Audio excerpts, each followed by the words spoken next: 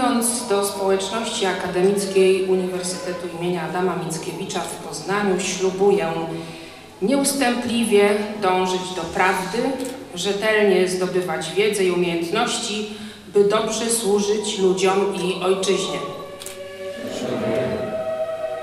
Postępować w sposób prawy i odważny, wykazywać tolerancję i życzliwość wobec innych, dochowywać wierności sobie i swoim ideałom.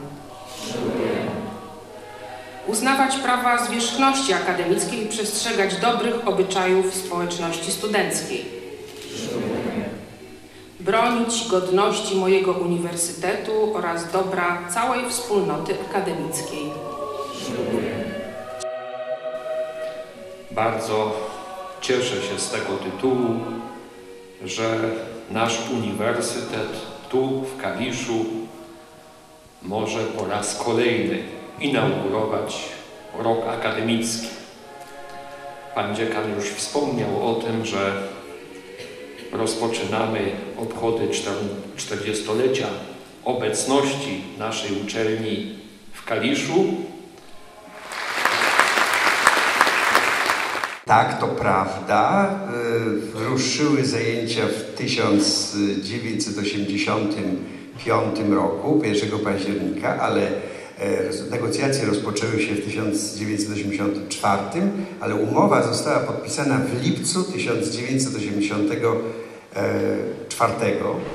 E, A zatem, e, a zatem, ponieważ lipiec standardowo należy do poprzedniego roku akademickiego, pozwalamy sobie świętować to 40-lecie wstecz.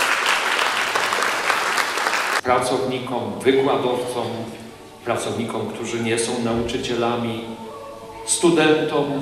No, życzę przede wszystkim e, dobrej kondycji do realizacji zadań, które przed Wami. Życzę dobrego zdrowia, bo takie jest konieczne, aby te zadania zrealizować. Wykładowcom życzę satysfakcji, satysfakcji z tego, co czynią, co tworzą, co robią.